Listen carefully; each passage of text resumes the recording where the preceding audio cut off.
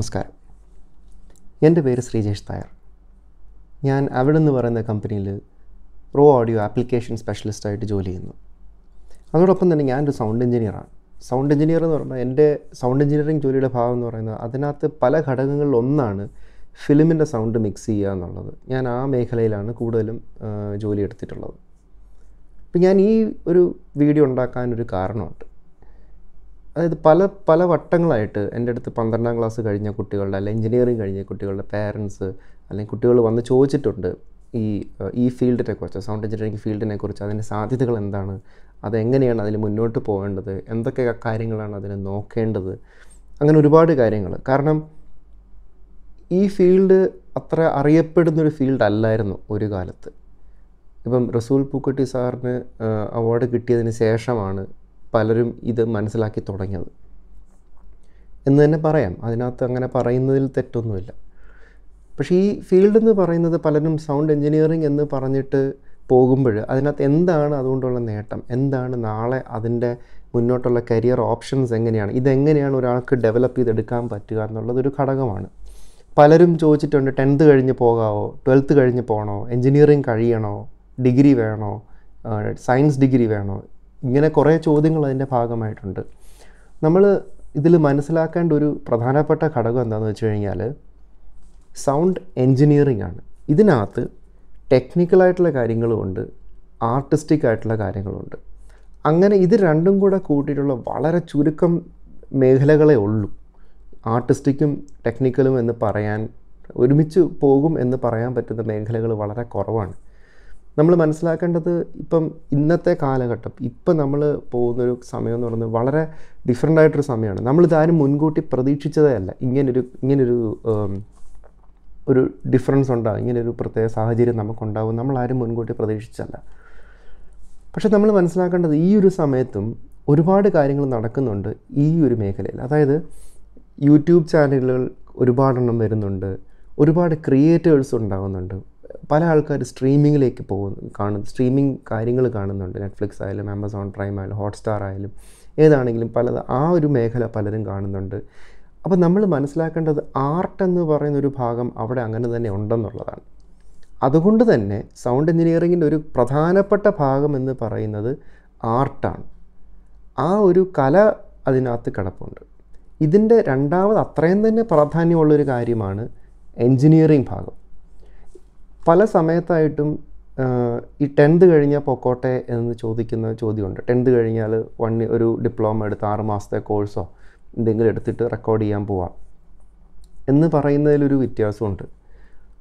അതായത് അടിസ്ഥാനപരമായിട്ടുള്ള കാര്യങ്ങൾ നമ്മൾ ഇതിൽ പഠിച്ചില്ലെങ്കിൽ അത് വലിയൊരു നഷ്ടം തന്നെയാണ്.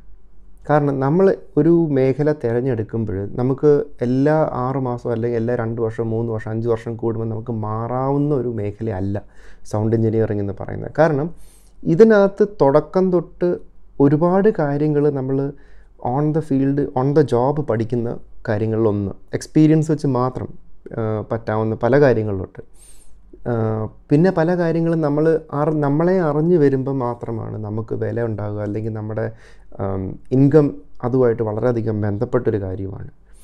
എല്ലാവരും സൗണ്ട് എഞ്ചിനീയറിംഗ് എന്ന് പറയുമ്പം വിചാരിക്കുന്ന മെയിനായിട്ടുള്ള രണ്ട് കാര്യങ്ങളാണ്. ഇപ്പോൾ എന്റെ അടുത്ത് വന്ന് ചോദിക്കുന്നത് എന്റെ മകന് പാടാൻ വളരെയധികം താല്പര്യമുണ്ട്. അല്ലെങ്കിൽ എന്റെ മകൾ നന്നായിട്ട് ഗിറ്റാർ വായിക്കും. അല്ലെങ്കിൽ എന്റെ മക്കൾ നന്നായിട്ട് പിയാനോ വായിക്കും. അവരെ സൗണ്ട് എഞ്ചിനീയറിംഗ് പോകാൻ താല്പര്യമുണ്ട് എന്ന് പറയുന്നൊരു ഘടകമുണ്ട്.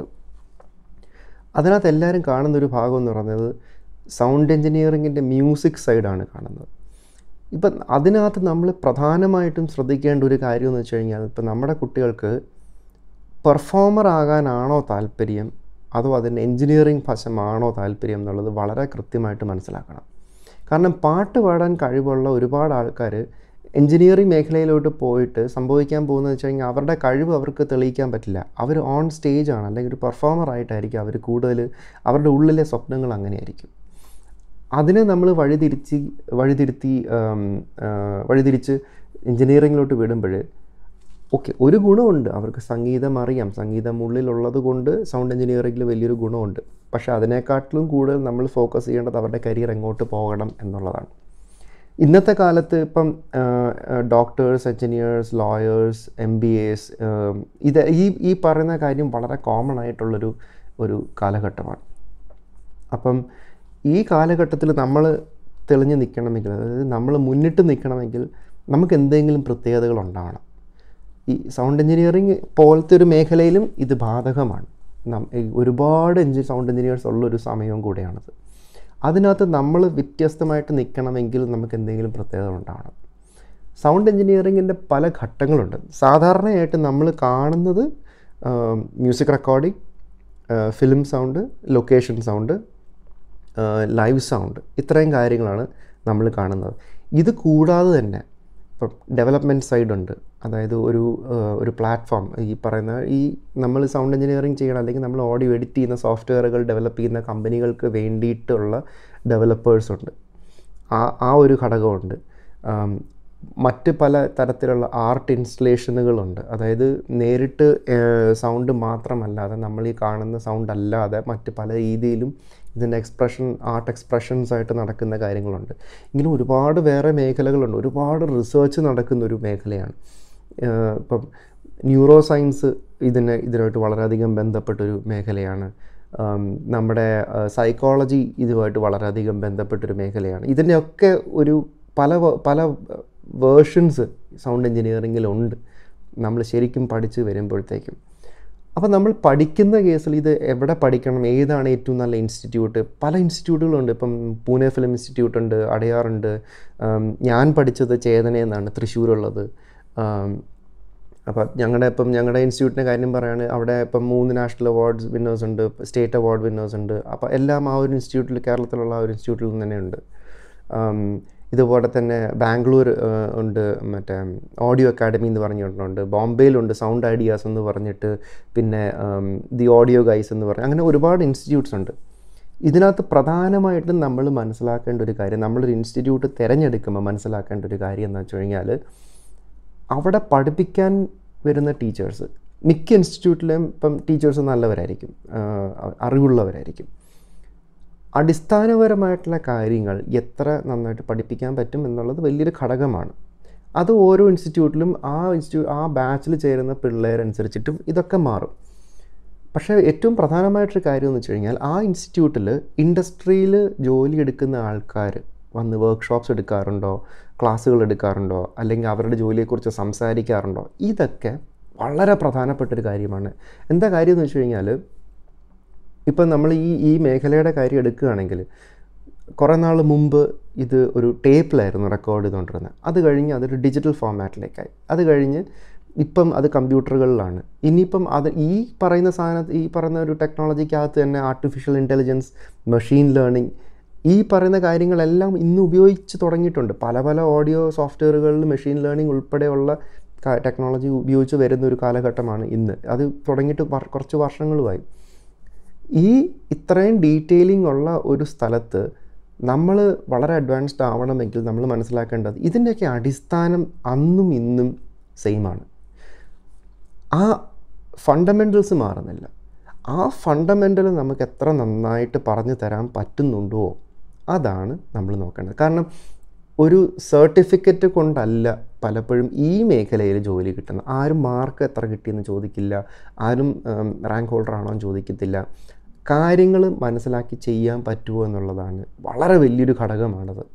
കാരണം കാര്യങ്ങൾ മനസ്സിലാക്കി ചെയ്യുന്നത് എന്താണെന്ന് വെച്ച് കഴിഞ്ഞാൽ പല കാര്യങ്ങളും നമുക്ക് പല പ്രത്യേകതയുള്ള പ്രഷറാണ് നമുക്ക് പലപ്പോഴും വരിക. ഇപ്പം ജോലി തീർക്കേണ്ട ഡെഡ് ലൈൻ അല്ലെങ്കിൽ ഇതേപോലത്തെ എന്തെങ്കിലും ഒരു നമ്മൾ ഫോർസ് ഫോർസി ചെയ്യാത്ത പല കാര്യങ്ങളുണ്ടാവും. അപ്പോൾ അതുകൊണ്ട് തന്നെ ഈ കാര്യങ്ങളെല്ലാം ഇതിനകത്ത് വരും. ഈ കാര്യങ്ങളൊക്കെ മറികടക്കണമെങ്കിൽ പലപ്പോഴും നമ്മുടെ എക്സ്പീരിയൻസസ് ആണ് ഇതിന് വേണ്ടിയിട്ട് സഹായിക്കുക. അതുകൊണ്ട് തന്നെ സൗണ്ട് എഞ്ചിനീയറിങ്ങിന്റെ കേസ് പറയുകയാണെങ്കിൽ ടെക്നിക്കലായിട്ട് നമ്മൾ അറിഞ്ഞിരിക്കണം. പലരും ഇപ്പോൾ പല ഇത് പൂർണമായിട്ട് എത്രത്തോളം ഗ്രാഹ്യത്തിൽ അറിഞ്ഞിരിക്കണം എന്നുള്ളൊരു ചോദ്യമുണ്ട്. അത് നമുക്ക് പലതരത്തിലാണ്. ഇപ്പം ഞാൻ എന്റെ കേസ് ഞാൻ പറയാം. ഞാനൊരു മെക്കാനിക്കൽ എഞ്ചിനീയറാണ് ആ, ഞാൻ മെക്കാനിക്കൽ എഞ്ചിനീയറിങ് കഴിഞ്ഞതിന് ശേഷമാണ് ഞാൻ സൗണ്ട് എഞ്ചിനീയറിങ് പഠിക്കാൻ പോയത് ചേതരയിൽ. അപ്പോൾ എന്റെ കേസിൽ എന്താ സംഭവിക്കുന്നത് വെച്ച് കഴിഞ്ഞാൽ മെക്കാനിക്കൽ എഞ്ചിനീയറിങ് പഠിച്ചത് കൊണ്ട് എനിക്ക് അറ്റ്ലീസ്റ്റ് ടെക്നോളജിയെ ഭയമില്ല. അല്ലെങ്കിൽ ഒരു ഒരു ഒരു ബാക്ക്ഗ്രൗണ്ട് ഉണ്ടായിരുന്നു. സയൻസിന്റെ മാത്സിന്റെ ഒരു ബാക്ക്ഗ്രൗണ്ട് ഉണ്ടായിരുന്നു. ഇത് നിർബന്ധമാണോ എന്ന് ചോദിച്ചാൽ ആണെന്ന് ഞാൻ പറയില്ല. പക്ഷേ ഇത് വളരെ നല്ലൊരു കാര്യമാണ്. ഇങ്ങനൊരു ഒരു ബാക്ക്ഗ്രൗണ്ട് ഇത് കാരണം നിങ്ങൾ ഏതെങ്കിലും ഒരു പോയിന്റിൽ നിങ്ങൾക്ക് ഇത് ഇത് കാണേണ്ടി വരും. ഇതിലേക്ക് ഇത് അനുഭവപ്പെടേണ്ടി വരും. നിങ്ങൾക്ക് മാത്സോ ഫിസിക്സോ സയൻസ് എന്തെങ്കിലും ഒരു ഒരു പോയിന്റ് ഓഫ് ടൈമിൽ നിങ്ങൾക്ക് ഇത് വേണ്ടി വരും. മനസ്സിലാക്കേണ്ട ഒരു കാര്യം വെച്ച് കഴിഞ്ഞാൽ ഈ ഒരു ഫീൽഡ് ഒരു വളരെയധികം ആൾക്കാർ വളരെയധികം പാഷനോട് കൂടി ജോലിയെടുക്കുന്നൊരു മേഖലയാണ്. പാഷന്റെ ഒരു പ്രത്യേകത എന്താണെന്ന് വെച്ച് കഴിഞ്ഞാൽ വളരെയധികം ഡ്രൈവ് ഉള്ള ആൾക്കാരാണ് ഇതിനകത്തുണ്ടാവുക. കോമ്പറ്റേറ്റീവ് ആണ് കോമ്പറ്റേറ്റീവ് ആണ്. വളരെ കോമ്പറ്റേറ്റീവ് ആണ്. കാരണം ഒരുപാട് എൻജിനീയേഴ്സ് വരുന്നുണ്ട്. ഒരുപാട് എൻജിനീയേഴ്സ് വരുന്ന സ്ഥലത്ത് നിങ്ങൾക്ക് എങ്ങനെ നിങ്ങളുടെ ഒരു ഒരു ഒരു ഒരു പേരുണ്ടാക്കാം അല്ലെങ്കിൽ നിങ്ങളുടെ ഒരു കരിയർ എങ്ങനെ ഷേപ്പ് ചെയ്യാം എന്നുള്ളൊരു ഘടകം എന്താണെന്ന് വെച്ച് കഴിഞ്ഞാൽ എന്റെ അനുഭവത്തിൽ നിന്ന് എനിക്ക് മനസ്സിലായ ഒരു കാര്യം എന്ന് വെച്ച് കഴിഞ്ഞാൽ നിങ്ങളുടെ അറിവ് അത് നിങ്ങൾ എത്രത്തോളം അത് ബാക്കിയുള്ളവർക്ക് എത്രത്തോളം അത് മനസ്സിലാകുന്നുണ്ടോ അതൊരു ഘടകമാണ്. നിങ്ങളുടെ അറിവ് നിങ്ങളുടെ കഴിവ് കഴിവെന്ന് പറയുന്നത് നമുക്കൊരിക്കലും പുസ്തകത്തിൽ നിന്ന് കിട്ടുന്ന സാധനമല്ല. അത് പ്രാക്ടീസ് ചെയ്ത് തന്നെ പഠിക്കണം. ഇപ്പോൾ ഞാനൊരു മ്യൂസീഷ്യനല്ല പക്ഷേ എനിക്ക് പല കാര്യങ്ങളും കേട്ട് കഴിഞ്ഞാൽ വലിയ തെറ്റില്ലാതെ എനിക്ക് മനസ്സിലാക്കാൻ പറ്റും. കഴിവ് അറിവ്.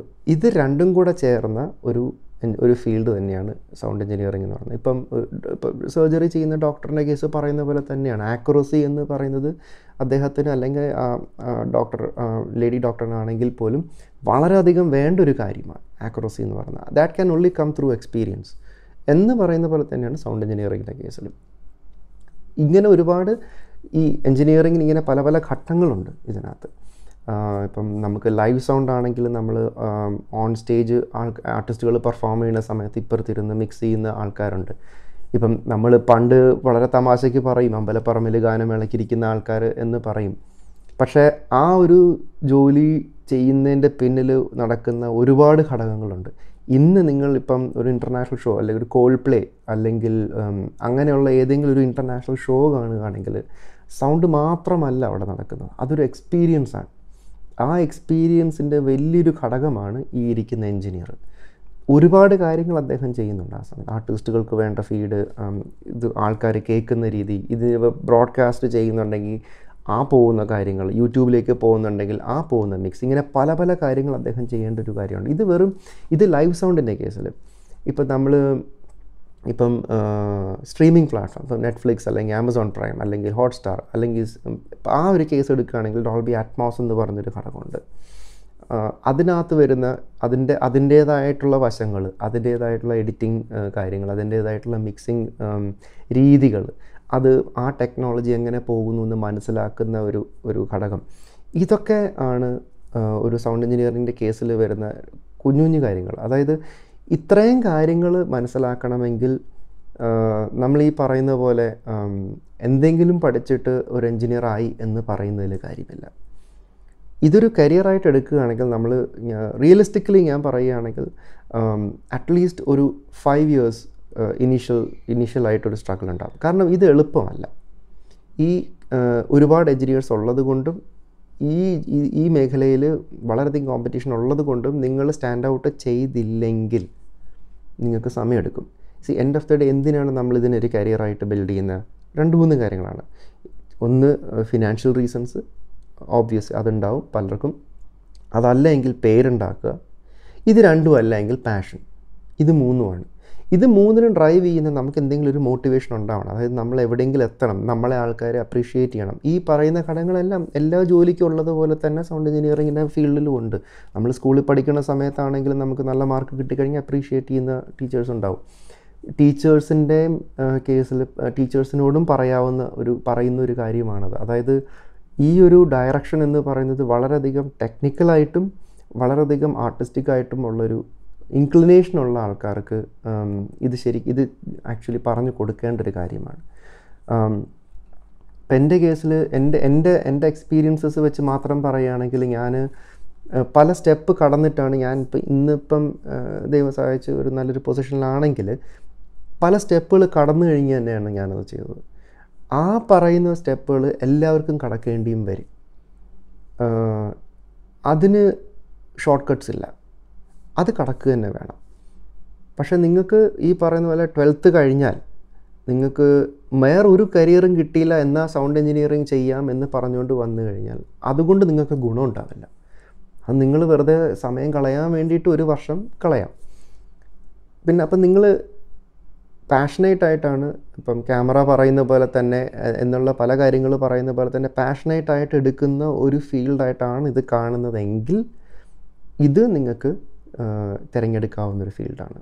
ഞാൻ നേരത്തെ പറഞ്ഞ പോലെ നിങ്ങൾ പോകുമ്പോൾ നിങ്ങൾ പല ഇൻസ്റ്റിറ്റ്യൂട്ട്സിനടുത്ത് സംസാരിക്കുന്ന സമയത്തും ചോദിക്കേണ്ട കാര്യങ്ങളിലൊന്ന് അവിടുത്തെ അലുമിനി എങ്ങനെയാണ് അവിടെ പഠിപ്പിക്കുന്ന ആരൊക്കെയാണ് ഇൻഡസ്ട്രിയിലുള്ള ആൾക്കാർ പഠിപ്പിക്കുന്നുണ്ടോ എന്തൊക്കെയാണ് പഠിപ്പിക്കുന്നത് കറന്റ്ലി റെലവന്റ് ആയിട്ടുള്ള കാര്യങ്ങളാണോ? കാരണം നിങ്ങൾ ഒരു വർഷം അല്ലെങ്കിൽ മൂന്ന് വർഷം സമയം ചിലവാക്കി പഠിച്ചിട്ട് തിരിച്ച് ഇൻഡസ്ട്രിയിലോട്ട് വരുമ്പോൾ ഈ പറയുന്ന കാര്യങ്ങളേ അല്ല. നടക്കുന്നതെന്ന് കാണുമ്പോൾ അത് വളരെ വലിയൊരു വിഷമമുള്ള കാര്യമാണ്. ഇങ്ങനത്തെ പല കാര്യങ്ങളും നിങ്ങൾ മനസ്സിലാക്കണം ചോദിച്ച് മനസ്സിലാക്കണം. ചോദിക്കുന്നതിന് യാതൊരു മടിയും വേണ്ട. നിങ്ങളുടെ കരിയറിനെ ബിൽഡ് ചെയ്യാൻ വേണ്ടിയിട്ടുള്ള കാര്യങ്ങളിലൊന്നാണ് നിങ്ങൾ ചോദിക്കുന്നത്. അത് മനസ്സിലാക്കുക. സർട്ടിഫിക്കറ്റ് അല്ല വാല്യൂ അവിടുന്ന് പഠിക്കുന്ന കാര്യങ്ങളിലാണ് വാല്യൂ എന്ന് മനസ്സിലാക്കുക. എപ്പോഴും അപ്ഡേറ്റഡ് ആകാൻ പറ്റുന്നൊരു മനസ്സുണ്ടാവണം. അത് വളരെ ഇമ്പോർട്ടന്റ് ആണ്. നമ്മൾ അത് നിന്ന് പോയി കഴിഞ്ഞു കഴിഞ്ഞാൽ നമ്മൾ എവിടെയാണോ നിർത്തിയത് അവിടെ നിന്ന് പോകും നമ്മൾ.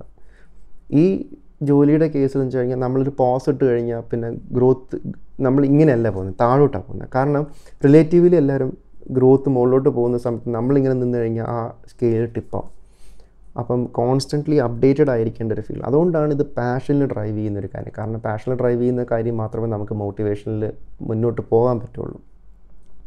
ചലഞ്ചസ് ഇല്ല എന്നല്ല ഞാൻ പറഞ്ഞത്. ചലഞ്ചസ് ഉണ്ട്. പക്ഷേ അതിന്റെ റിവാർഡ്സ് വളരെയധികം നല്ലതാണ്. വളരെയധികം സന്തോഷം തരുന്ന ഒരു കാര്യങ്ങളിലൊന്നാണ് പേരാണെങ്കിലും പ്രശസ്തിയാണെങ്കിലും പൈസയുടെ കാര്യത്തിലാണെങ്കിലും ജോലി ചെയ്യുന്ന സ്ഥലത്തിന്റെ കാര്യമാണെങ്കിലും ഈ പറയുന്ന പോലെ ഐ ടി ഇപ്പം നിങ്ങൾക്ക് ഇൻഫർമേഷൻ ടെക്നോളജിയുടെ കാര്യങ്ങൾ ഇതിൽ അറിയണം. ഡി എസ് പിയുടെ കാര്യങ്ങൾ ഇതിൽ അറിയണം. ഇലക്ട്രോണിക്സ് അറിയണം. കമ്മ്യൂണിക്കേഷൻ ടെക്നോളജി അറിയണം. പലപ്പോഴും മെക്കാനിക്കൽ എഞ്ചിനീയറിംഗ് അറിഞ്ഞിരിക്കണം. കാരണം നിങ്ങൾക്കിപ്പം ഷാസിയുടെ കാര്യങ്ങളൊക്കെ അളവും കാര്യങ്ങളൊക്കെ കണ്ടുപിടിക്കണമെങ്കിൽ അത് അറിഞ്ഞിരിക്കണം. പല പല എഞ്ചിനീയറിംഗ് മേഖലകളുടെ ഒരു സിംഗിൾ കോമ്പിനേഷൻ ഇതിനകത്ത് വരുന്നുണ്ട്. പോരാത്തതിന് ഒരു ആർട്ടിസ്റ്റും കൂടി ആയിരിക്കണം. ഇത്രയും കാര്യങ്ങളാണ് ആക്ച്വലി സൗണ്ട് എഞ്ചിനീയറിംഗിൽ വരുന്നത്. ഇതെല്ലാം നിങ്ങൾക്ക് ഒരു വർഷം കൊണ്ട് നേടാം എന്ന് നിങ്ങൾക്ക് മനസ്സിലുണ്ടെങ്കിൽ നിങ്ങൾ ആ ഒരു വർഷം നിങ്ങൾ ഇതിനായിട്ട് തന്നെ ഡെഡിക്കേറ്റ് ചെയ്യുക.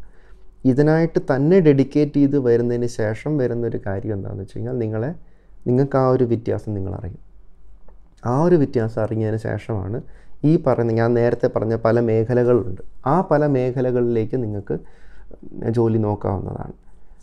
അതുകൊണ്ട് തന്നെ ഈ ഒരു കരിയർ ഓപ്ഷൻ എന്ന് പറയുന്ന ഒരു രീതിക്ക് നിങ്ങൾ കാണുമ്പോൾ ഇത് വളരെ സീരിയസ് ആയിട്ട് കാണേണ്ട ഒരു കാര്യമാണ്. ഒരു എന്താ പറയുക ഒരു സെക്കൻഡറി ഓപ്ഷനായിട്ട് ഒരിക്കലും എടുത്തു വരേണ്ട ഒരു ഫീൽഡല്ല വളരെയധികം കോമ്പറ്റീഷനുള്ളൊരു ഫീൽഡാണ് പക്ഷേ ആ കോമ്പറ്റീഷന്റെ റിസൾട്ടിന്റെ ഒരു സന്തോഷം ഒരു effect they you know they will be a fruitful result for all of this that you go through അതുള്ളൊരു കാര്യമാണ്. അപ്പോൾ അതാണ് എനിക്ക് പറയുന്നത് കാരണം മലയാളത്തിൽ ഇത് വളരെയധികം വീഡിയോസ് ഞാൻ കണ്ടിട്ടില്ല. വളരെ ചുരുക്കം ചില വീഡിയോസ് ഞാൻ കണ്ടിട്ടുള്ളൂ. അതുകൊണ്ട് തന്നെയാണ് മലയാളത്തിൽ ഈ ഒരു വീഡിയോ ചെയ്യാൻ ഞാൻ തയ്യാറായത്. നന്ദി നമസ്കാരം.